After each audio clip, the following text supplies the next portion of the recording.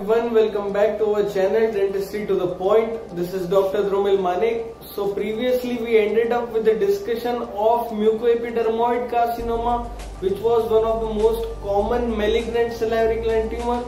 Today our topic for discussion is adenoid cystic carcinoma. Again not so common tumor but again it has its name in the list of commonest tumors of salivary gland. So adenoid cystic carcinoma has its two names that is cylindroma and basaloid mixed tumor. Now why these names are given you will get to know in the further discussion of this video or this topic.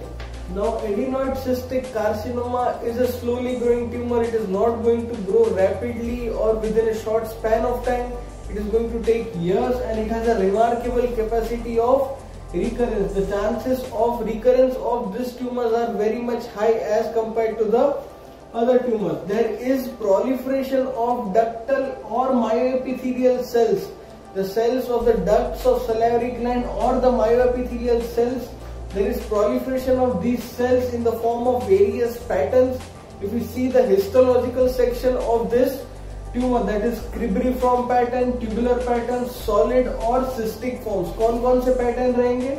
क्रिबरी form tubular solid और cystic pattern no will start with see start by seeing the most common age sex and site for this tumour that is most common age is again fifth and six decade of life that is elderly person are more commonly affected as compare to the younger individuals There are some cases reported in the third decade of life also. The most common sex again affected over here is females which are more commonly affected than males. The most common site again it is going to remain the same that is parotid gland. There are some tumors seen in relation with the submandibular or sublingual gland also but when it comes to the most common major salivary gland affected by this tumor then it is parotid gland.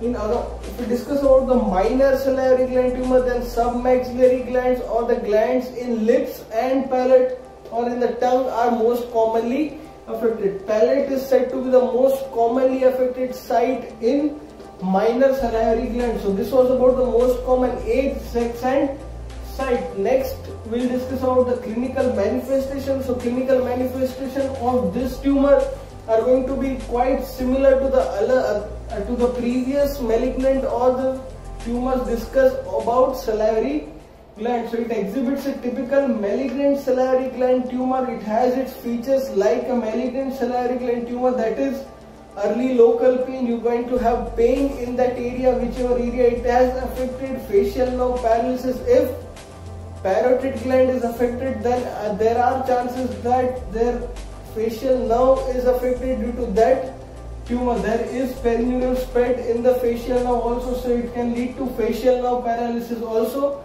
in which cases in the cases in which parotid gland is affected. Next it has its fixation to the deeper structures that is if you try to move the tumor it is not going to move because it is going to be remain indurated or fixed to the deeper underlying structures whether it will be soft tissue or bone Next, it has local invasion. That means it is going to spread locally into the area which has it, which it has occurred. Next, some of the tumors of minor salivary gland, that is intraoral tumors, may also show surface ulceration. The surface of the tumor may also show ulceration. So these are some of the clinical manifestation of this tumor.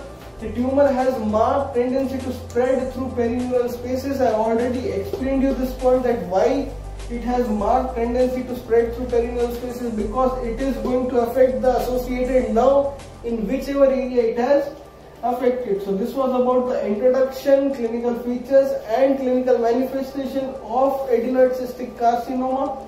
Next, we are moving on to the discussion of histological features. So histologically, if you see this tumor, then you will see the basaloid cells or the tumor cells which are arranged in the form of cords solid nest or cribriform pattern. Cribriform pattern is considered to be the most common variant of this histological feature. Consists now let's see it consists of basal cells present in anastomosing cord in the form of cord as I told you or in the form of ducts mainly like cribriform, honeycomb or Swiss cheese pattern. Now this arrangement of cells is going to be called as cribriform pattern, Swiss cheese pattern or honeycomb pattern. You guys have seen honeycomb and Swiss cheese pattern. How it is going to be same is going to be the cribriform pattern. So cells appear as if they are arranged in that pattern.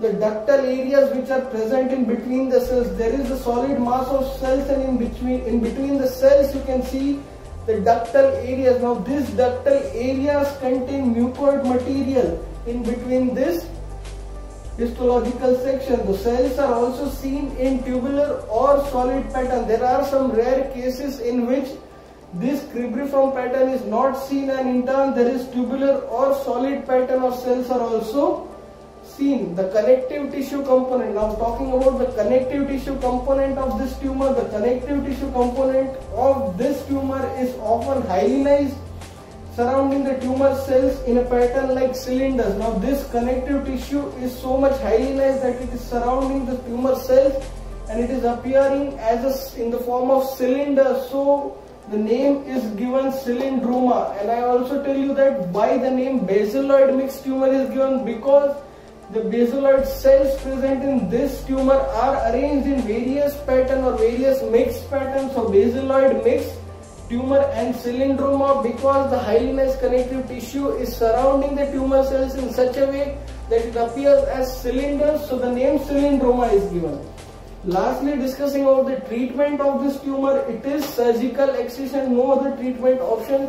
There were various options tried like radiation, but it was not successful. So lastly, surgical excision is going to be the treatment option for this kind of tumor. So this completes with the discussion of adenoid cystic carcinoma. There is not much to remember regarding this. It is very easy topic. Hope you guys enjoyed the video.